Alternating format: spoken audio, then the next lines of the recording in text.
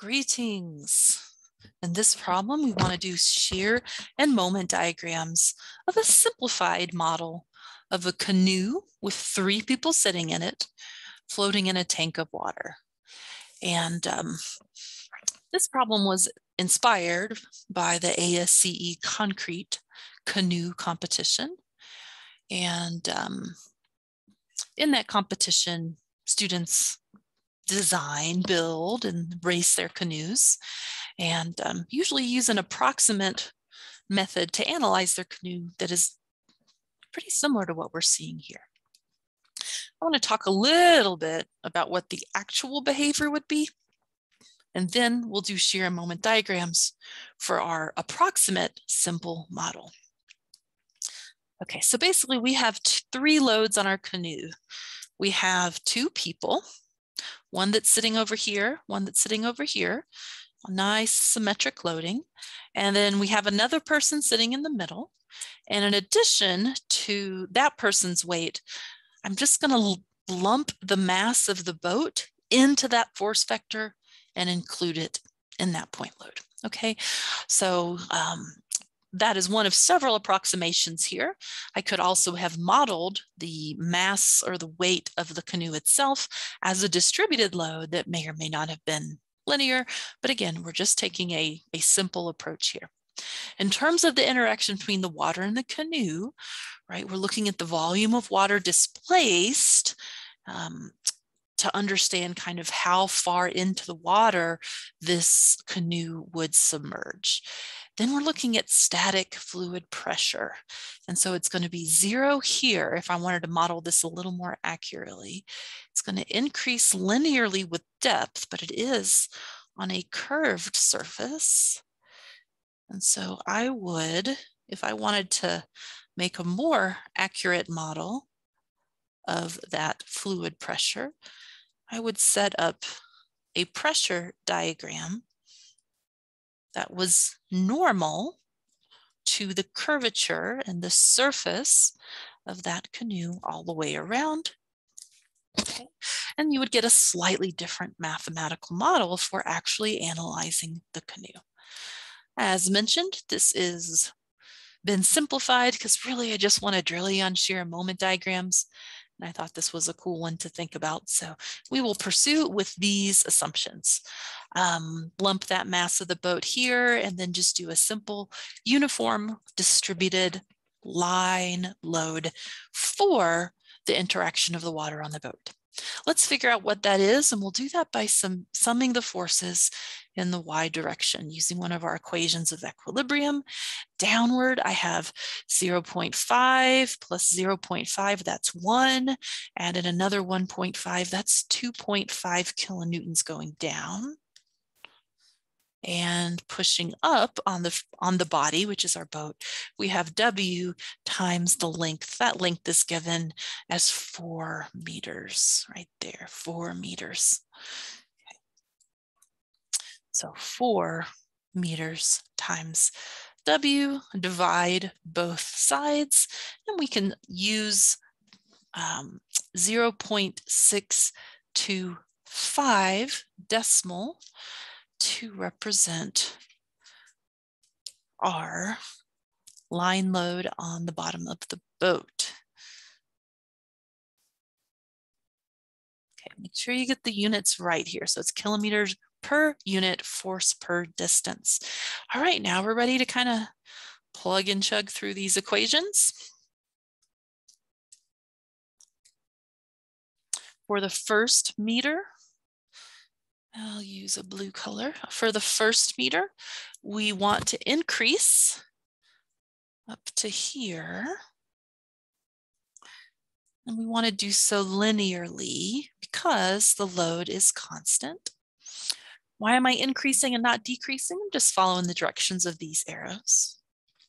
The area under the load curve for this first segment is equal to one meter of width multiplied by a load intensity or height of 0.625 kilonewtons per meter. And so that gives me 0.625. And the units in this plot, of course, are going to be kilonewtons units of force. Okay, at this point, we need to decrease by this concentrated load. So zoom on down till we get to this point. Use a finer pen. I think I'm going to use a finer pen so that I can show this in proper detail. So this point up at the top was 0.625. And right here, once I subtract out the 0.5, that lands me at 0.125. Okay, after we get done with our concentrated load, we are ready to increase again for another meter. So 0.625 times one meter. We're gonna increase right up here. Okay, we're gonna do it linearly. And I do encourage you to draw these to scale. And, you know, maybe that means you're eyeballing it like I am. Maybe it means you've got graph paper. But even if you're eyeballing it, you know, make a concerted effort to draw this to scale. The slopes of these two lines are exactly the same because they correspond to that value. Okay, and that tip top point, once I add in 0.625 to 0.125, that lands me at wrong pen, 0.75 right there. Now we are ready to jump. I'm at positive 0.75. I want to jump down. That lands me at negative 0.75. And if you just watch the previous tutorial in this series, you learn something about symmetry and anti-symmetry. Since this is symmetric, when I integrate it, the next higher order function will be anti-symmetric. Okay, so if I'm feeling confident in my free in my free body diagram, I can do the rest of this plot just using anti-symmetry. In other words, I want to take this geometry, fold it over that line, and then fold it over this line. It'll look something like this. That one will go there. Okay, so I'm kind of working backwards using the anti-symmetry. That one is 0 0.125. Then I jump away from the axis to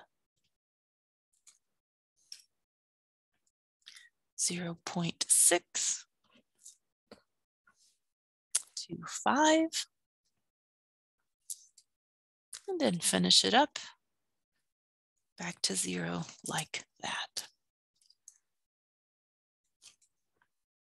Okay, so that's how we could use anti-symmetry to finish out the other half of this diagram. Of course, you could continue to do it by um, you know, using our, our typical method, uh, but not necessary if you start to recognize the symmetry and anti-symmetry shortcuts. As we go into the moment diagram, I want to take advantage of that. Okay, I'm going to have this area, this pink area and this pink area are the same. One's positive, one's negative, but in terms of the value, it's a triangle, so one half base times height. I don't have that computation at hand, so I'm just going to call that area one.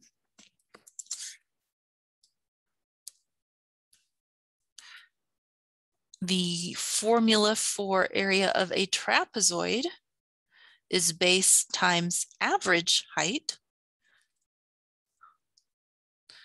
So you can figure out what that is. I also do not have that one readily at hand. We're going to call that one area two. Okay, one of them's positive, one of them's negative, but in terms of the magnitude, we'll just call it area two. All right, because I can, I'm going to use my symmetry tool. I'm going to use my symmetry tool. So I'm going to line that up, lock it in, and then I'm going to hide it so I don't even see it as I'm drawing.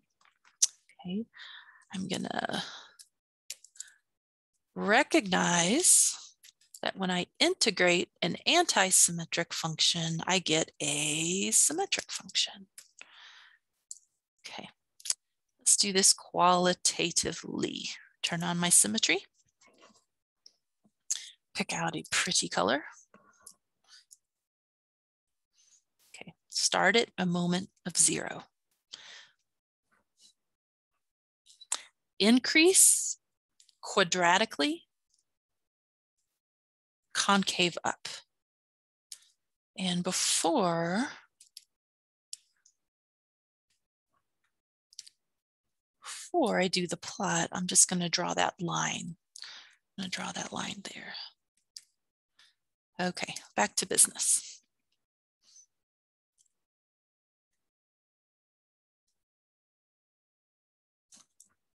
Concave up.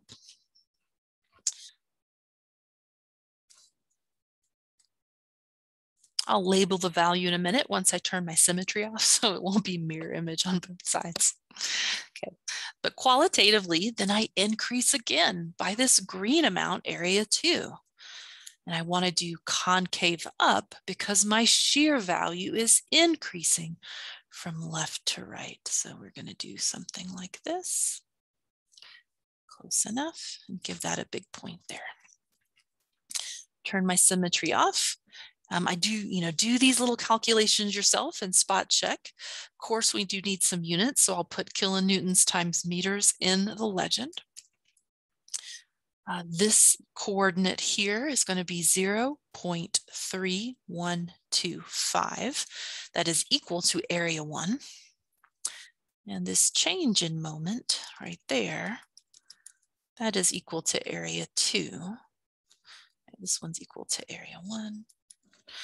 Um, so once you add area two there, that lands us up at 0 0.75. 3125 there. Okay, there you have it. That is a simplified model for sheared moment in a canoe under a couple assumptions, namely that we can lump the mass in the middle and that we can model the fluid pressure as a simplified line load. Thanks for watching.